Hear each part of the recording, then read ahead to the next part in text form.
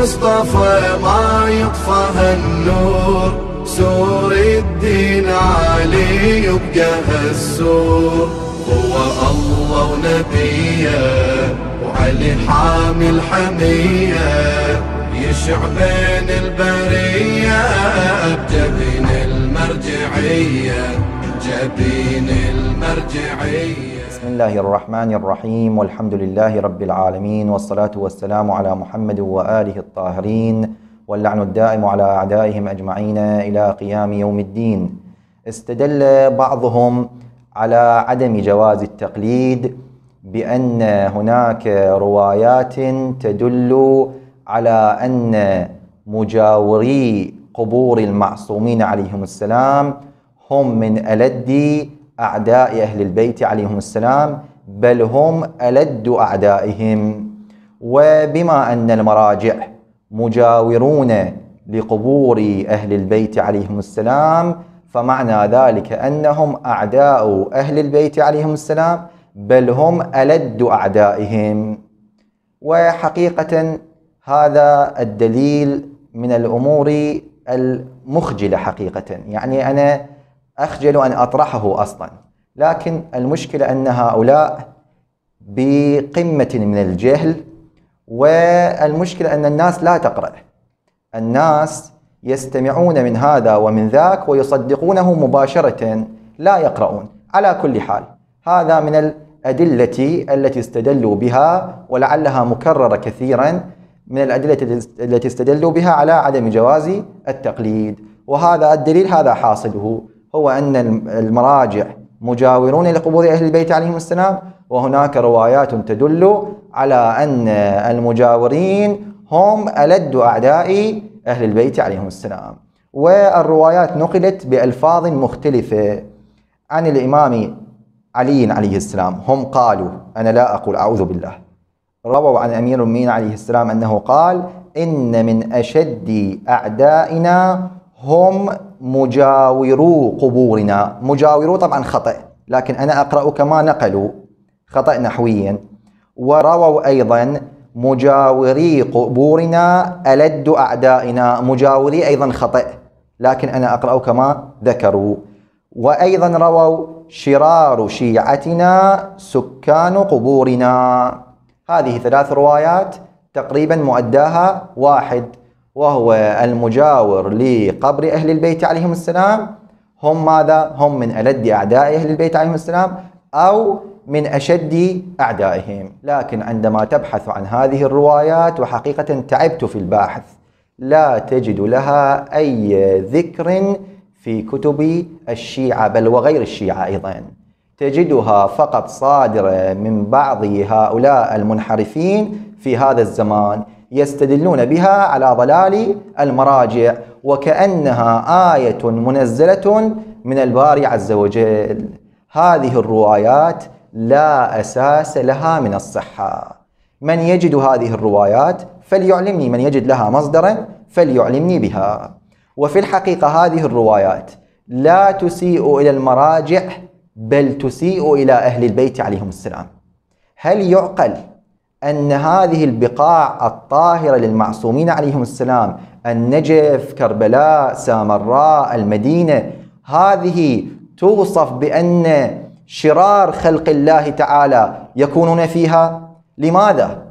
يعني هل يعقل أن كربلاء والنجف والكوفة وما إلى ذلك تكون محطا لشرار خلق الله تعالى وتلك البقاع التي يعصى الله تعالى بها يوميا لا لا يكون فيها من هو أشد أعداء أهل البيت عليهم السلام. لا أدري يعني الإنسان إلى هذه الدرجة يفقد عقله إلى هذه الدرجة الضمير ينتفي من الإنسان بحيث يكذب على أهل البيت عليهم السلام بهذا المستوى. كم من الروايات التي جاءت وبينت أن هذه البقاع بقاع شريفه.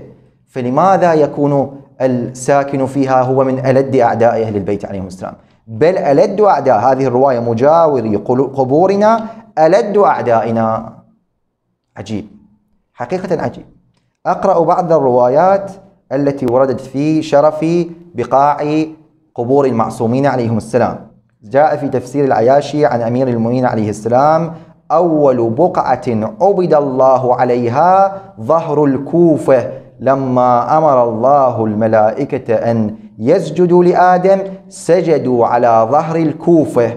وجاء في كتاب فرحة الغريل لابن طاووس اشترى أمير المؤمنين عليه السلام ما بين الخورنق إلى الحيرة إلى الكوفة من الدهاقين بأربعين ألف درهم فقيل له يا أمير المؤمنين تشتري هذه بهذا المال وليس تنبت قاط كأنما أرض لا تصلح للزراعة. فقال سمعت من رسول الله صلى الله عليه وآله يقول كوفان يرد أولها على آخرها يحشر من ظهرها سبعون ألفا يدخلون الجنة بغير حساب. واشتهيت أن يحشروا في ملكي. اشتهيت أن يحشروا في ملكي. هذه ملك لأمير المؤمنين عليه السلام. وسكانها يكونون أشد وألد أعداء أهل البيت عليهم السلام. أيضا في كتاب فرحة الغري نظر أمير المؤمنين عليه السلام إلى ظهر الكوفة فقال ما أحسن ظهرك وأطيب قعرك اللهم اجعل قبري بها. والروايات كثيرة في هذا المجال أن هذه البقعة التي فيها قبر أمير عليه السلام من بقاع الجنة وما إلى ذلك لا أريد أن أخذ وقتكم كثيرا فقط أكتفي من ذلك ببعض الروايات. جاء في كتاب المزال للشيخ المفيد قدس الله نفسه عن الإمام الصادق عليه السلام إن لموضع قبر الحسين بن علي عليه السلام حرمة معروفة من عرفها واستجار بها أجير وموضع, وموضع قبره منذ يوم دفنا منذ يوم دفنا روضة من رياض الجنة ومنه معراج يعرج فيه بأعمال زواره إلى السماء إلى آخر الرواية. روضة من رياض الجنة وسكانها يكونون أشد وألد أعداء أهل البيت عليهم السلام. بأي حكم هذا لا أدري. أيضا عن الإمام الصادق عليه السلام في نفس الكتاب حريم قبر الحسين عليه السلام خمسة فراسخ من أربعة جوانب القبر. خمسة فراسخ يعني ما يعادل 27 كيلو أو يزيد. من أربع جوانب هذا هو حريم قبر الحسين عليه السلام. 27 كيلو من أربع جوانب. هؤلاء الذين يجاورون الحسين عليه السلام هم من ألد أعداء أهل البيت عليهم السلام؟ الذين يسكنون في بقعة من بقاع الجنة يكونون من ألد أعداء الحسين أعداء أهل البيت عليهم السلام. عجيب حقا عجيب. أيضا ذكر آه، الشيخ آغا بزرق الطهراني في الذريعة آه، رواية نقلها في المعنى قال إن مجاورة ليلة عند أمير المؤمنين عليه السلام أفضل من عبادة سبعمائة عام.